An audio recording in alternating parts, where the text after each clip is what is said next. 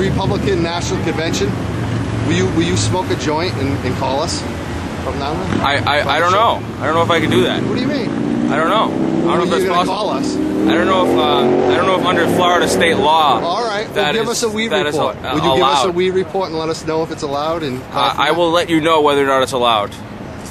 Are you in trouble? Are you No, in no, trouble no, I'm- being on our show. No, no, no, no, no. I'm not in any sort of trouble. So you're going to call in from the Republican National. I'll Convention. call. Oh, I'll absolutely give at- updates and I'll you know make a report. Like I'll, I'll like record some it- audio and then do a voiceover like on NPR. It'll be fresh. All right. I don't know. I have no capability of doing that. I'll call you certainly.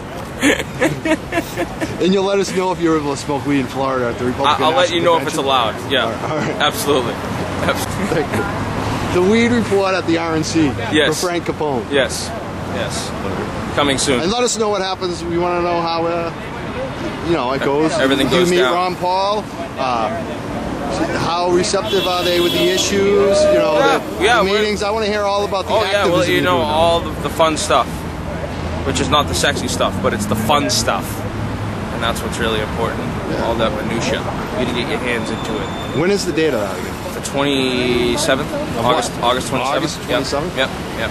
So like our people that got kicked out now, they have to go down there a week before and uh, have their case heard before the National uh, Committee on Contests, and so it stinks because people are going to have to go out there a week ahead of time, you know, in order to see their, their fate decided.